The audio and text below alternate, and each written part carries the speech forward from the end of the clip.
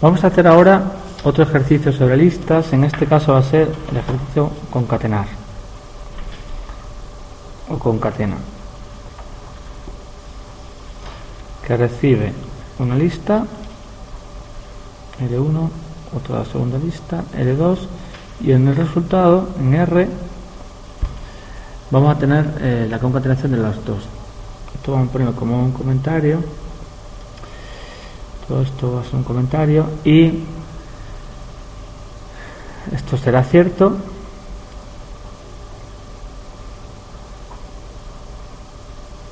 Cuando R unifica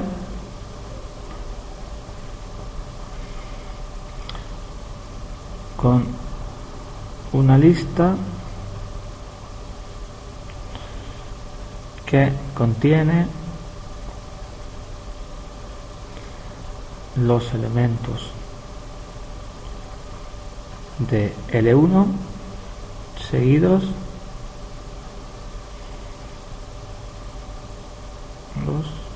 por los elementos de L2 en el mismo orden. Bien, volvemos a escribir el principio de inducción.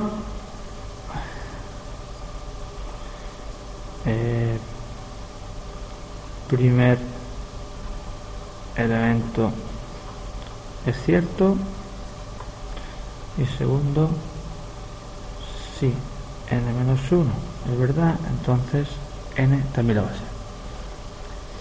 Bien en este caso al tener dos listas puedo eh, puedo hacerlo de dos formas. O bien que el caso base la primera lista esté vacía o bien que el caso base sea la segunda lista la que esté vacía.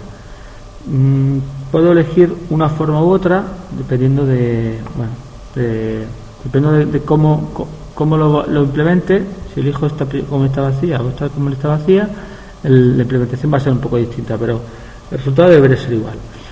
En principio, vamos a intentar hacerlo utilizando la eh, la primera lista vacía, a ver qué sucede. Primera lista vacía. Entonces,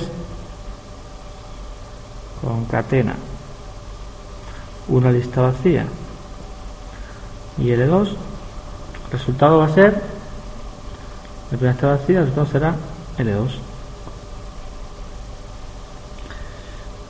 Añade una lista vacía al principio. Bien, vamos a intentar hacer ahora el caso recursivo. Concatena va a ser la primera lista la que voy a intentar reducir. Y la segunda queda exactamente igual. Bien. Esto igual que antes dejamos todo para el final. Y ahora concatenamos.